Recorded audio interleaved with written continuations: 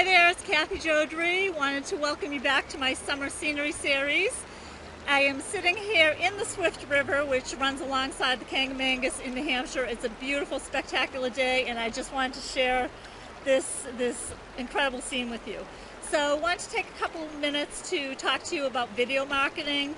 If you've been on my blog, you know that I'm doing a lot of video marketing, and I really want to encourage you to, if you're not doing this, to just jump in and do it it's really, you know, when I first started doing it, it was difficult. I hated the way I looked, I hated the way I sounded, I didn't know what to say, I had a lot of ums and ahs.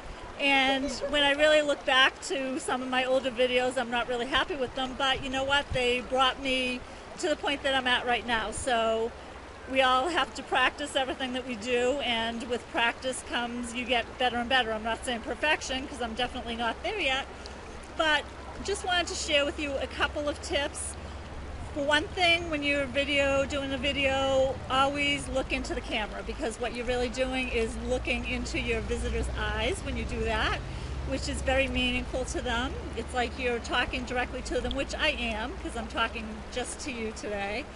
And another thing that I learned from my friend Glenna Caro, who is a professional video editor, editor in Hollywood is that it's really good to have to be outside to videotape in really nice settings and to have natural light is good and also to have some action shots. So a lot of my videos you'll notice that I have some action shots either before or after the video.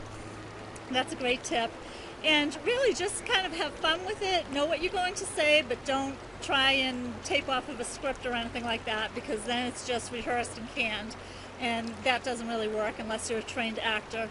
But I really just want to encourage you to get out there and do this because it really will help you to brand yourself. It will help your visitors to really get to know you as a person, not just as an internet marketer that they don't know. So it's it really gives a chance for people to look inside your heart and, and know the true you, which is sometimes difficult on the internet.